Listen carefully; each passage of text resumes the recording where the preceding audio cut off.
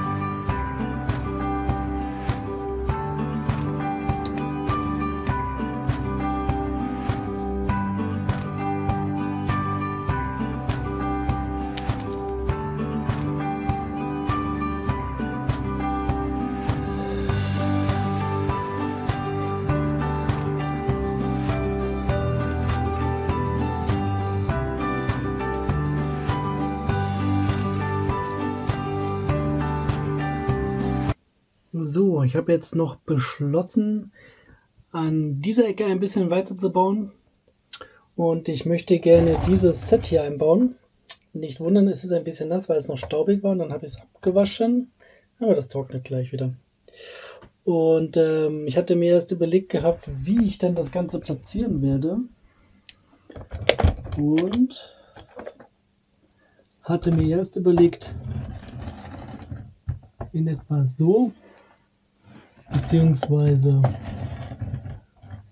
so. Aber man sieht halt dann von der anderen Seite, also wie gesagt, die Palmen wegdenken, schaut das blöd aus. Die Frage ist auch, ob da der Zug so vorbeikommt und das Ganze. Das schaut ein bisschen knapp aus, das Ganze. Hier vorne will es eigentlich nicht, da wäre es natürlich am einfachsten, aber da wäre so viel Platz verloren, weil ich da noch was anderes hinbauen wollte. Hier war ja vorher das Krankenhaus gewesen, wo ich ja schon mal beschlossen habe, dass das umgebaut wird. Dann war die Option noch so das hinzustellen, wo mir da auch Platz verloren geht, weil ja hier so das Meer mit reingebaut ist. Und habe ich mich jetzt entschlossen, das Ganze hier einzubauen.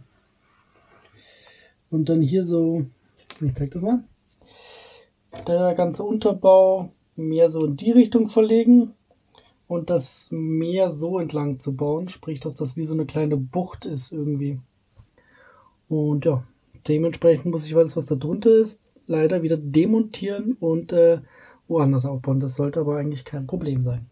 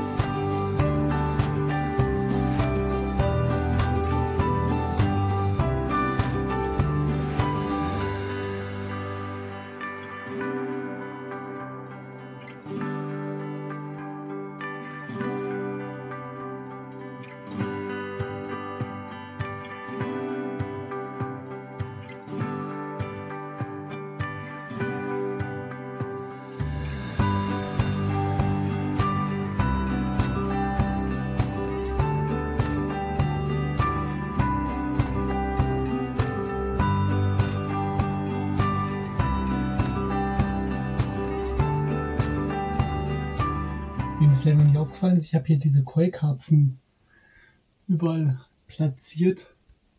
Schaut, glaube ich, ganz nett aus, wie so ein kleiner Schildfischschwarm.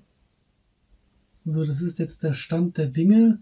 Ich habe jetzt bis hierher Sanddüne gemacht und zwei Pfeiler und das Wasser ein bisschen äh, nach vorne gearbeitet.